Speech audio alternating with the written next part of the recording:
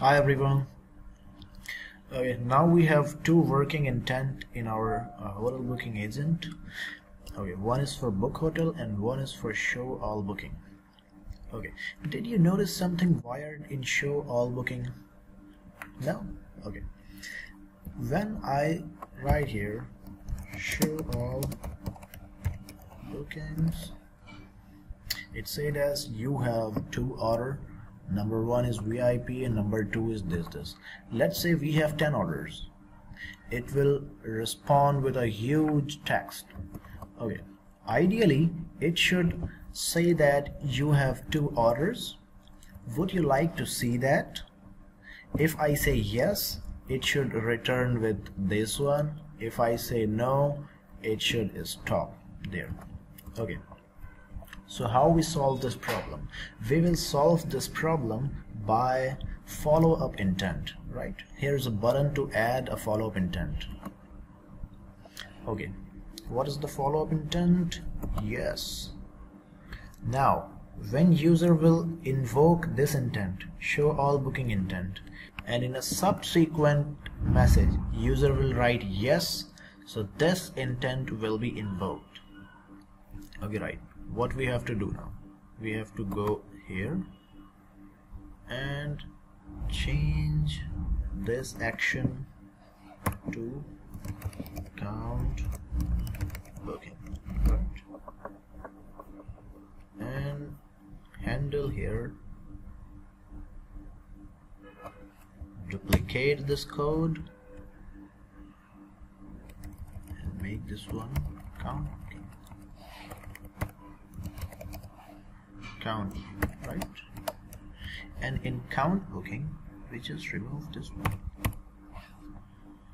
And we can also remove this line and simply write response here. Okay.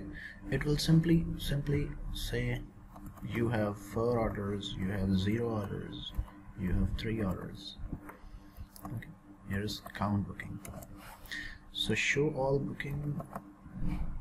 Now count booking. Right save it.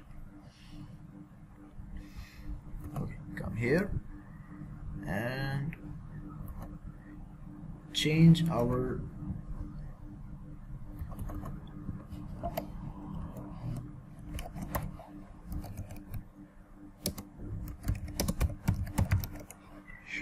and save it.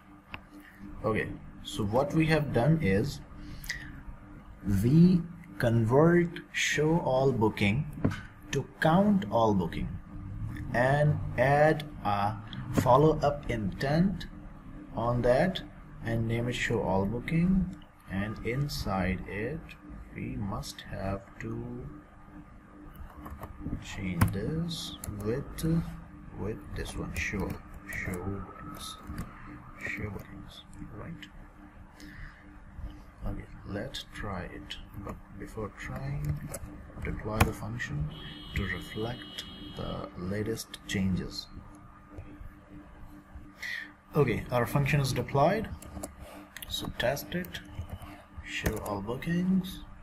And it's saying that you have two orders. Okay if I will say yes in subsequent message. Okay I have missed two things. Um, the first is here. I forget to enable the fulfillment. So request is not going to webhook. And the second thing which I have forget to do is to change the response of this for the good user experience. Now I am only returning that you have three orders. So how user will know that he have another option to say yes subsequent? So I will add would you like to see them? Okay the user now know that he have option to say yes or no Yes. Uh, save it. Redeploy our function to see it in action. Okay, our function is deployed. So test this. Show all booking. Okay, you have two orders. Would you like to see them? I simply say yes. Okay. Um, it is now returning with full text. We can we can also remove this one, this one from this message. Okay. Here are your orders. Right? So now it will say that here are your orders. Number one is this, this, this, and number two is this, this, this. Alright. Alright. Okay, what is the other use cases of uh, this follow-up intent?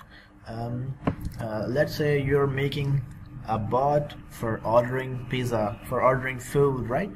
Um, so when when user uh, is done with placing the order food, you may ask user for a sauce or uh, for for for um, different appetizer. Okay. Um, see you in next video. Bye bye.